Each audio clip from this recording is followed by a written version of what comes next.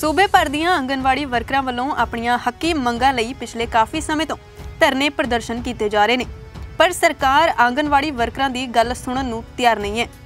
ਇਹਦੇ ਚੱਲਦਿਆਂ ਹੁਣ ਆਂਗਨਵਾੜੀ ਵਰਕਰਾਂ ਵੱਲੋਂ ਮਹਿਲਾ ਦਿਵਸ ਮੌਕੇ ਸੰਗਰੂਰ ਤੇ ਬਠਿੰਡਾ 'ਚ ਰੋਸ ਜਤਾਇਆ ਗਿਆ ਤੇ ਕਾਲੀਆਂ ਪੱਟੀਆਂ ਬੰਨ ਕੇ ਨਾਗਰਿਕਤਾ ਸੋਧ ਕਾਨੂੰਨ ਤੇ ਐਨਆਰਸੀ ਦੇ ਵਿਰੋਧ ਨੂੰ ਲੈ ਕੇ ਜੇਲ੍ਹ ਭਰੋ ਅੰਦੋਲਨ ਸ਼ੁਰੂ ਕੀਤਾ, ਜਿੱਥੇ ਕਈ ਔਰਤਾਂ ਨੇ ਆਪਣੀ ਗ੍ਰਿਫਤਾਰੀ ਵੀ ਕਰਵਾਈ ਹੈ। ਇਸ ਬਾਰੇ ਗੱਲਬਾਤ ਕਰਦਿਆਂ ਰੋਸ ਜਤਾ ਰਹੀਆਂ ਵਰਕਰਾਂ ਦਾ ਕਹਿਣਾ ਹੈ। ਕਿ ਸਰਕਾਰ ਵੱਲੋਂ ਝੂਠੇ ਵਾਅਦੇ ਕੀਤੇ ਜਾ ਰਹੇ ਨੇ ਤੇ ਉਹਨਾਂ ਵਾਅਦਿਆਂ ਨੂੰ ਮੁੜ ਯਾਦ ਕਰਵਾਉਣ ਲਈ ਉਹਨਾਂ ਵੱਲੋਂ ਇਹ ਪ੍ਰਦਰਸ਼ਨ ਕੀਤਾ ਗਿਆ।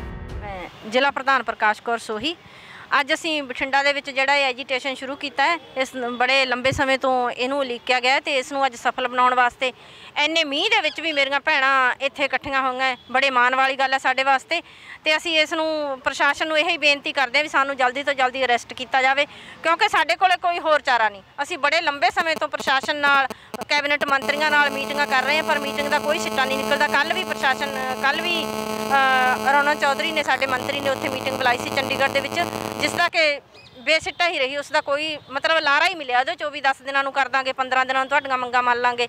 ਪਿਛਲੇ ਲੰਬੇ ਸਮੇਂ ਤੋਂ ਇਹ ਚੱਲ ਰਿਹਾ ਪਰ ਹੁਣ ਅਸੀਂ ਇਸ ਨੂੰ ਬਰਦਾਸ਼ਤ ਨਹੀਂ ਕਰ ਸਕਦੇ। ਇਸ ਕਰਕੇ ਸਾਡਾ ਸਾਰੇ ਪੰਜਾਬ ਦੇ ਵਿੱਚ ਹੀ ਅੱਜ ਇਹ ਫੈਸਲਾ ਕਿ ਅਸੀਂ ਗ੍ਰਿਫਤਾਰੀਆਂ ਦੇਣੀਆਂ ਤੇ ਅਸੀਂ ਪ੍ਰਸ਼ਾਸਨ ਨੂੰ ਅਪੀਲ ਕਰਦੇ ਹਾਂ ਵੀ ਅੱਜ ਸਾਨੂੰ ਗ੍ਰਿਫਤਾਰ ਕੀਤਾ ਜਾਵੇ। ਗ੍ਰਿਫਤਾਰ ਨਹੀਂ ਕਰਦੇ ਫਿਰ ਵੀ ਅਗਲਾ ਨਹੀਂ ਕਰਦੇ ਤਾਂ ਫਿਰ ਜੋ ਵੀ ਹੋਊਗਾ ਉਸ ਦਾ ਪ੍ਰਸ਼ਾਸਨ ਜ਼ਿੰਮੇਵਾਰ ਹੋਊਗਾ। ਅਸੀਂ ਅੱਜ ਇੱਥੇ ਹੀ ਰਹਿਣਾ ਜਾਣਾ ਤਾਂ ਕਿਤੇ ਹੈ ਨਹੀਂ। ਅੱਜ ਜਿਹੜਾ ਸਾਡਾ ਜਥੇਬੰਦੀ ਵੱਲੋਂ ਮਹਿਲਾ ਦਿਵਸ ਦੇ ਉੱਤੇ 6 ਤਰੀਕ ਦਾ ਜੇਲ੍ਹ ਭਰੋ ਅੰਦੋਲਨ ਲਿਖਿਆ ਗਿਆ ਸੀ ਤੇ ਉਸ ਨੂੰ ਸਫਲ ਬਣਾਉਣ ਦੇ ਲਈ ਅੱਜ ਅਸੀਂ ਇੱਥੇ ਇਕੱਠੇ ਹੋਇਆਂਗੇ। ਤੇ ਜਿਹੜੀ ਸਰਕਾਰ ਦੀਆਂ ਜਿਹੜੀਆਂ ਇਹ ਨੀਤੀਆਂ ਜਿਹੜੀਆਂ ਦਿਨੋਂ ਦਿਨ ਵੱਧ ਰਹੀਆਂ ਨੇਗੀਆਂ, ਤੇ ਇਹਨਾਂ ਨੂੰ ਦੇਖਦੇ ਹੋਏ ਹੀ ਅਸੀਂ ਅੱਜ ਜਿਹੜਾ ਜੇਲ੍ਹ ਭਰੋ ਦਾ ਅੰਦੋਲਨ ਹੈਗਾ, ਇਹ ਪ੍ਰੋਗਰਾਮ ਸਫਲ ਬਣਾਉਣਾਗਾ ਕਿਉਂਕਿ ਸਾਡੇ ਨਾਲ ਸਰਕਾਰ ਨੇ ਬਹੁਤ ਵੱਡੇ ਵੱਡੇ ਵਾਅਦੇ ਕੀਤੇ ਸੀਗੇ। ਕਿ ਅਸੀਂ ਜਿਹੜੇ 3 ਤੋਂ 6 ਸਾਲ ਦੇ ਬੱਚੇ ਹੈਗੇ, ਉਹ ਵੀ ਵਾਪਸ ਕਰਾਂਗੇ। ਤੇ ਜਿਹੜਾ ਸਾਡਾ ਕੇਂਦਰ ਸਰਕਾਰ ਵੱਲੋਂ ਜਿਹੜਾ ਮਾਣ ਪੱਤਾ ਵਧਾਇਆ ਸੀਗਾ, ਉਹਦੇ ਚ 40% ਸੇ ਜਿਹੜਾ ਪੰਜਾਬ ਸਰਕਾਰ ਦਾ ਹਿੱਸਾ ਬਣਦਾ ਸੀਗਾ ਤੇ ਜਿਸ ਤੋਂ ਸਾਫ਼ ਮੁੱਕਰ ਚੁੱਕੇ ਨੇਗੇ। ਤੇ ਬਾਰ-ਬਾਰ ਸਾਨੂੰ ਲਾਰੇ ਲਾਏ ਜਾਂਦੇ ਆ ਕਿ ਇਹਨਾਂ ਨੂੰ ਲਾਗੂ ਕੀਤਾ ਜਾਊ, ਪਰ ਅਜੇ ਤੱਕ ਸਾਡੀ ਕੋਈ ਵੀ ਸੁਣਵਾਈ ਨਹੀਂ ਹੋਈ। ਤੇ ਇਸ ਲਈ ਅੱਜ ਅਸੀਂ 6 ਤਰੀਕ ਨੂੰ ਮਹਿਲਾ ਦਿਵਸ ਦੇ ਉੱਤੇ ਜੇਲ੍ਹ ਭਰੋ ਅੰਦੋਲਨ ਕੀਤਾਗਾ। ਤੇ ਅਸੀਂ ਪ੍ਰਸ਼ਾਸਨ ਨੂੰ ਕਹਿਣਾ ਚਾਹੁੰਦੇ ਹਾਂ ਕਿ ਸਾਨੂੰ ਜਲਦੀ ਗ੍ਰਿਫਤਾਰ ਕੀਤਾ ਜਾਵੇ ਤੇ ਸਾਨੂੰ ਜੇਲ੍ਹ ਦੇ ਵਿੱਚ ਸਾਡੇ ਲਈ ਰਹਿਣ ਲਈ ਪ੍ਰਬੰਧ ਕੀਤਾ ਜਾਵੇ। ਸਾਡਾ ਇਹ ਜੇਲ੍ਹ ਭਰੋ ਜਿਹੜਾ ਅੰਦੋਲਨ ਹੈ ਕਿ ਆਂਗਨਵਾੜੀ ਵਰਕਰ ਤੇ ਹੈਲਪਰ ਦੀਆਂ ਜਿਹੜੀਆਂ ਮੰਗਾਂ ਨੇ ਬੜੀ ਲੰਬੇ ਸਮੇਂ ਤੋਂ ਲਟਕ ਰਹੀਆਂ ਨੇ। ਸਰਕਾਰ ਬਾਰ-ਬਾਰ ਮੀਟਿੰਗ ਕਰਦੀ ਹੈ, ਮੀਟਿੰਗ ਕਰਕੇ ਆਸਵਾਸਨ ਦਿੰਦੀ ਹੈ, ਕੁਝ ਵੀ ਪੱਲੇ ਨਹੀਂ ਪਾਉਂਦੀ। ਮੀਟਿੰਗ ਕੱਲ ਵੀ ਕੀਤੀ ਹੈ ਕੈਬਨਿਟ ਮਿਨਿਸਟਰ ਅਰੁਣਾ ਚੌਧਰੀ ਨੇ।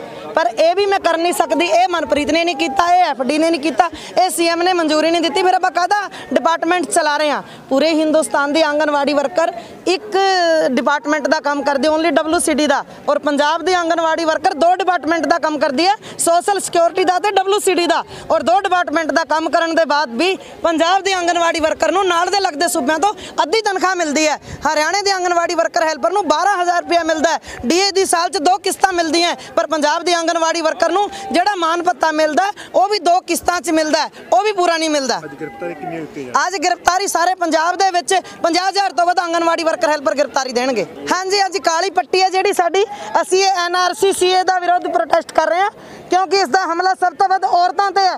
ਹਿੰਦੁਸਤਾਨ ਦੀ ਸਿਰਫ 13% ਔਰਤਾਂ ਦੇ ਨਾਮ ਹੀ ਜ਼ਮੀਨ ਹੈ 87% ਦੇ ਨਾਮ ਦਾ ਕਾਗਜ਼ਾਤ ਹੀ ਹੈ ਨਹੀਂ, ਤੇ ਇਸ ਲਈ ਸਭ ਤੋਂ ਵੱਡਾ ਹਮਲਾ ਔਰਤਾਂ ਦੇ ਉੱਪਰ ਹੈ। ਸਰ, ਅਸੀਂ ਸਰਕਾਰ ਨੂੰ ਬਹੁਤ ਪਿੱਟ ਸਿਆਪਾ ਕਰਕੇ ਦੇਖ ਲਿਆ। ਸ਼ਾਇਦ ਸਾਡੀ ਸ਼ਾਂਤਮਈ ਤਰੀਕੇ ਨਾਲ ਸੁਣ ਲੇ। ਔਰ ਜਿਹੜਾ ਸਾਡਾ ਕਾਲੀਆਂ ਪੱਟੀਆਂ ਬੰਨਣ ਦਾ ਮੇਨ ਰੀਜ਼ਨ ਹੈ ਉਹ ਜੋ ਅਸੀਂ ਇਹਨੂੰ ਲੈ ਕੇ ਜਿਹੜਾ ਕਾਨੂੰਨ ਲੈ ਕੇ ਆ ਰਹੇ ਨੇ ਉਹਨੂੰ ਵੀ ਉਹਦਾ ਨਾਲ ਮਤਲਬ ਕਰ ਰਹੇ ਹਾਂ ਅਸੀਂ ਕਿ ਉਹ ਕਾਨੂੰਨ ਲਾਗੂ ਨਾ ਕੀਤਾ ਜਾਵੇ bureau report vision Punjab TV for more news updates and entertainment videos please subscribe our channel For all latest notification, don't forget to press the bell icon.